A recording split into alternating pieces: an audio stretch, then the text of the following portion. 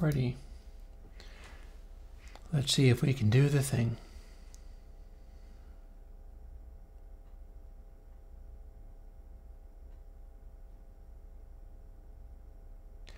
Hi, I'm Chris AirWindows, and hey, you can do this.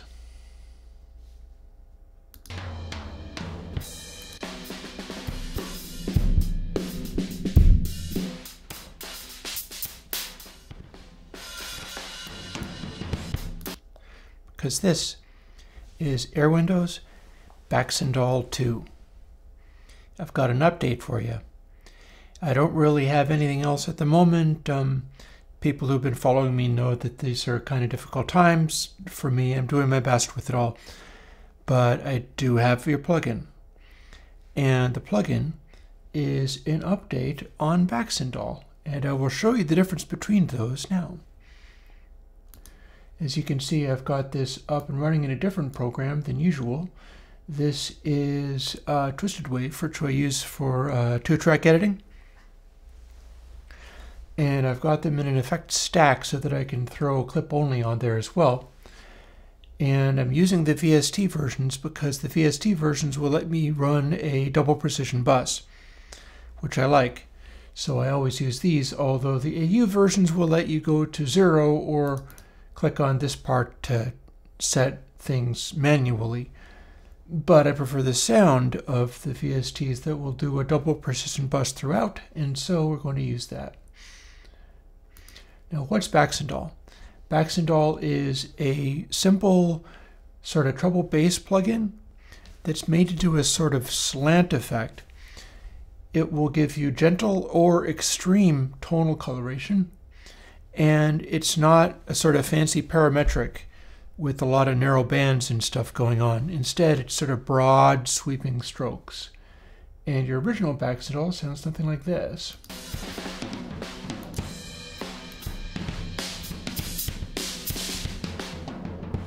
You can roll it right off, boost it up a lot, and of course we can also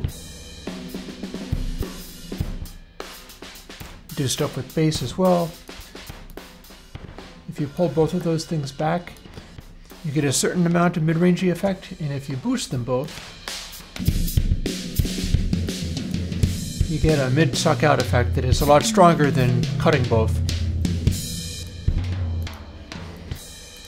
Now, there are a couple of things about Baxandall. One of them is that it has a sort of analog modeling kind of thing where it includes a certain amount of clipping. And back in the day, I was not doing my ultrasonic filtering on the clipping. So we might be able to hear on this, we might be able to hear a certain amount of artificiality with the highs in that. Baxandall 2, on the other hand, is a simplified version. It's going to give you more of a range of adjustment. I'm going all the way to 24 dB. And it is also missing that uh, clipping stage. It's cleaner. So what we have, if we go to a comparable setting, I'm just trying to set these the same. There we go. And we have that crazy boost and we go from Baxandall, and that has some distortion in it too.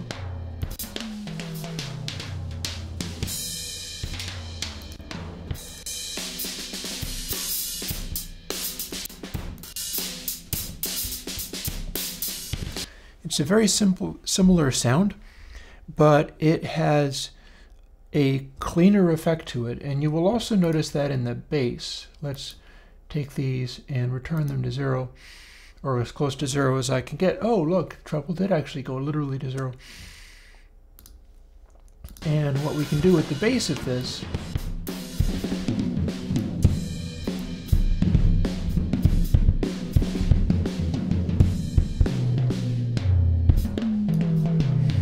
is we have a pretty substantial bass boost in there. But you'll notice that it's peaking at 0.4 even without clip only.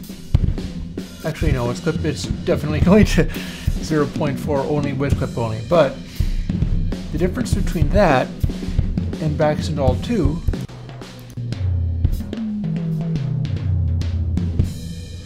is apparent.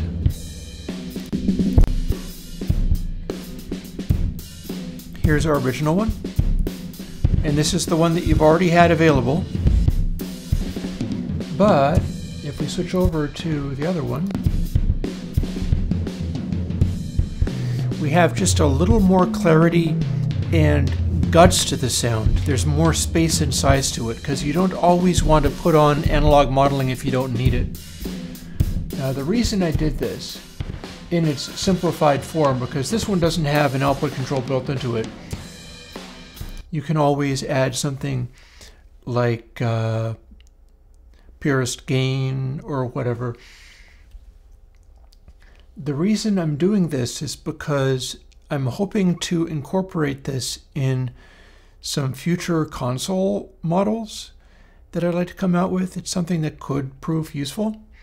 And building stuff into a plugin can give you, because you can order things appropriately, it can give you a clearer tone quality if I'm remembering correctly, there was also something, I think I remember that in Baxandall, I'm using a uh, interleaved biquad filter, and in Baxandall 2, I'm going with a straight biquad. Let's have a quick listen to it.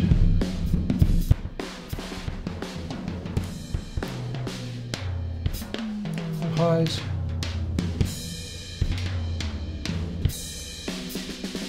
Lows.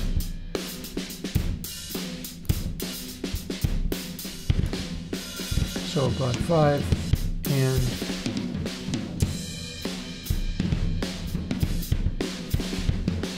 rather difficult setting this.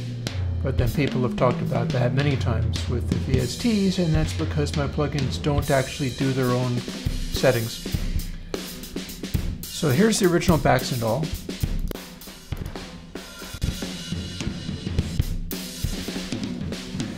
Here's the upgraded version, version 2.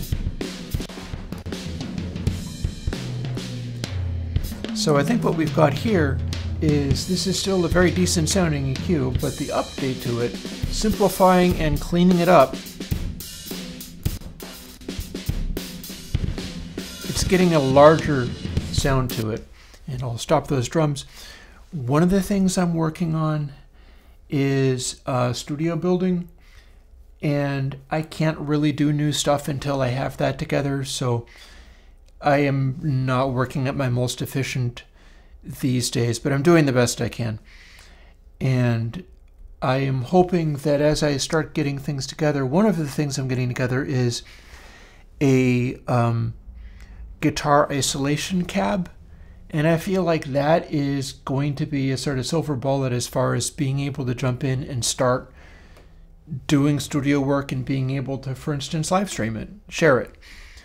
But until I do that, I'm kind of stuck and I have to build these things in order to be able to run my studio. And so I'm doing that to the best of my ability. Everything that I'm doing is supported by Patreon. I really appreciate the support on Patreon.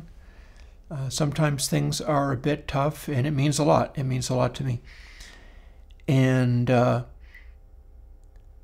I hope you like uh, the new version of Baxandall 2. By the way, what you've been hearing, although terrible though it is, is a drum track that I did using a Heritage Audio successor. I'd like to put up a video that shows you all of the different